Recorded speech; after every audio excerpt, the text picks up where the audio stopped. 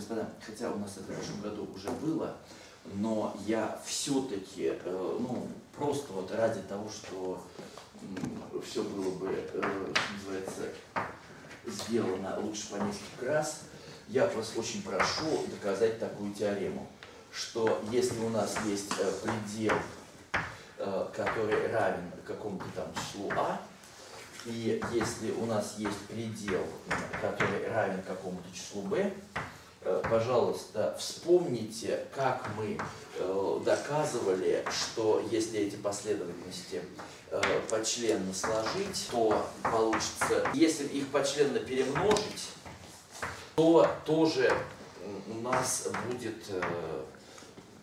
произведение. Значит, вот это совсем просто – а это была некоторая важная штука. Мы ее в прошлом году делали. Очень хочу, чтобы мы сейчас это вспомнили, потому что э, ну, нам сейчас это будет важно. Пожалуйста. А, а это у нас уже действительное число?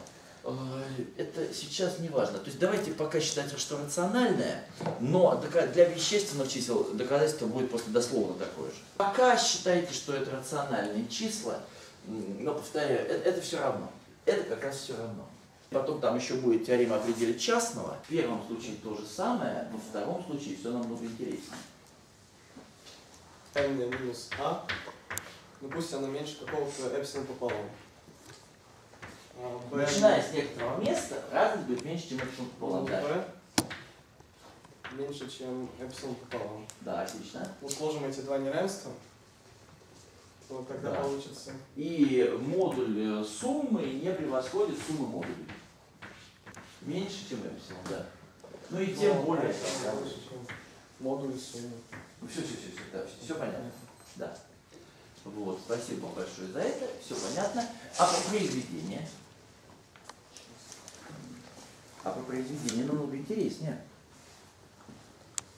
Если у нас есть две сходящиеся последовательности, то их сумма тоже сходится, это все понятно, он молодец.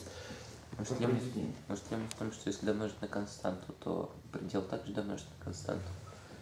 Ну, слабоватенько. Это, вернее, это правда, конечно, и это совершенно очевидно, но здесь нужна более сильная штука.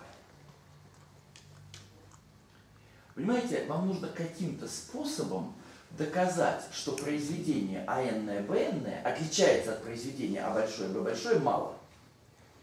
Как это можно сделать?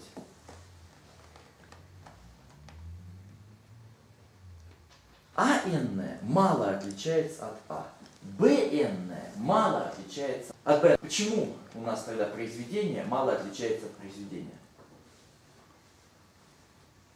То есть, э, смысл такой, у нас есть прямоугольник, со сторонами АН и БН.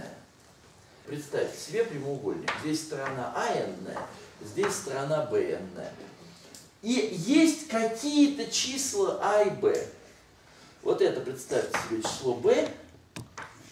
Вот это вот, например, число А. И вы знаете, что вот эти отрезочки маленькие, они могут быть положительными числами, могут быть отрицательными.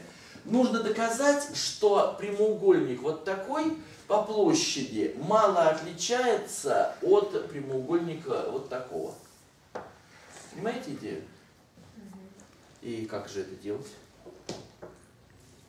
А n умножить на bn, напишите, пожалуйста, чему это равно. А, b плюс да. плюс ln b, да. плюс kn Хорошо. Можно взять э, такое n. Андрей, что КН Б? КН, ЛН. КН Б, да. Ну, да, скобки да. Теперь можно взять для любого дельта больше нуля, можно взять такое n, что у нас kn будет Э, меньше дельта, и ln будет меньше дельта. Да, конечно. Ну, как э, может Да, конечно. Вот. Поэтому в этом, в этом случае у нас а, модуль разности А, Б КН, БН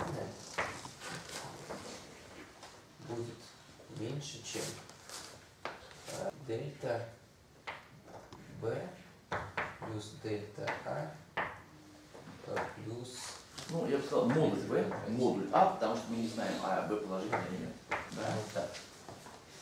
Плюс дельта в квадрате. Да. А теперь возьмем такое дельта меньше единицы. Для любого положительного эпсилон можно так подобрать дельта, что вот это выражение Выражение будет будет меньше. чем эпсилон. Да. Ну как именно мы его подберем? Во-первых, давайте сделаем условие, что дельта у нас будет меньше единицы, Да, конечно. а, А во-вторых, каждое из слагаемых можно позаботиться, чтобы было меньше, чем эпсилон делить на три. да. Нет, Можно. Просто, просто, просто сделать, чтобы дельта меньше, чем Эпсилон. делить на... условно b плюс 1. Ну, Да. так тоже можно. Меньше единицы. Да. Ну тогда у нас все, все сведется. А, можно вопросы? Почему ты на дельта наложил ограничение то, что меньше единиц? А чтобы дельта квадрат было меньше, чем дельта. Да, тогда Ну, я имею факт, право. что можно найти КН для любого КН. Вот так. Нет, Для любого дельта, Для любого для для любого А, дельта для можно любого для любого Последовательность дельта К1, меньше К2 и так далее, она бесконечно мало. то есть ты для любого ищешь. Э, Поэтому можно было искать в том числе, что я- когда я дельта... Просто там, там у нас назывался эпсилон в определении, я назвал дельта, чтобы вот с этим эпсилоном не перепутать. Вот. То есть мы взяли какой-то эпсилон. Дальше мы взяли дельта, которая меньше единицы и меньше вот такого. Тогда для него будет выполняться вот это, вот это неравенство.